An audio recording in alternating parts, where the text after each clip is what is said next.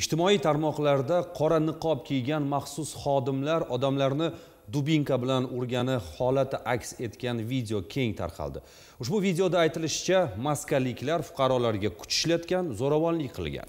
Voqea aslida qanday bo'lgan va buning sababi nimada? Navoiydagi ijodiy guruhimiz masalaga oydinlik kiritishga harakat qildi. Joriy yilning 7 yanvar kuni ertalab soat 8 larda qiziltepa tuman ichki ishlar bo'limi navbatchilik qismiga to'dakul suv havzasida bir guruh shaxslar tomonidan janjal bo'layotganligi haqidagi xabar kelib tushgan.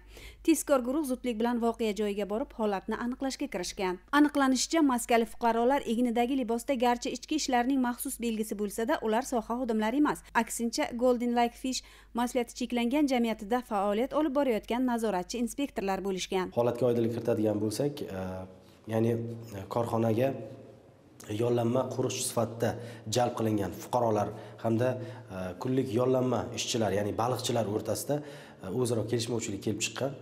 Bu esa sekin asta janjalga va uch nafar o'sha E, yollanma shartnoma asosidagi qo'riqchilarni e, yengil tan jarohati olishiga olib kelgan. Holat yuzasidan e, o'zbekiston respublikasi jinoyat kodeksining ikki yuz yetmish yettinchi moddasi bilan jinoyat ishi qo'zg'atilib hozirda dastlabki tergov harakatlari olib borilmoqda. Shuni alohida ta'kidlash lozim egniga maxsus kiyim bosh kiygan hamda o'sha yuzlariga niqob taqqan shaxslar ular o'sha baliqchilik fermasida shartnoma asosida ishlaydigan yollanma ishchilar ya'ni ular ham fuqarolar. Ularni ichki ishlar organlari xodimlariga hech qanday aloqasi yo'q. Maxsus vositalarni hamda e, maxsus kiyim boshlarni ular qayerdan olganliklari bo'yicha esa surishtiruv harakatlari davom etmoqda.